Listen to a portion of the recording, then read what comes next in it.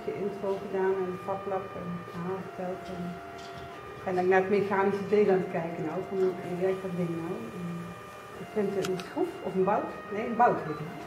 Bout.